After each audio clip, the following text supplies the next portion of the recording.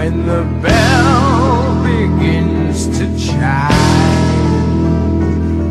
reflecting on my past life, and it doesn't have much time.